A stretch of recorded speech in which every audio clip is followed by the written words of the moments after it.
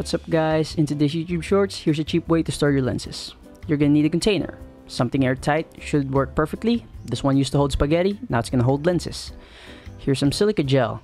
Any desiccant will do, but this should help you keep down the humidity inside the box. Put the silica gel inside the box, and the next thing you're gonna do is layer it with tissue.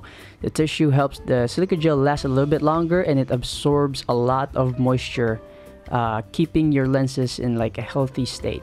I advise you to layer multiple tissues to avoid any damages or scratching your lens. The next thing you're gonna do is, of course, put your lens in there. If you're gonna store multiple lenses inside the box, I advise you to use dividers. Now, lock it up, store it somewhere safe, somewhere that's not a little too humid, not too dark, and you're good to go. You're not gonna have any fungus growth anymore.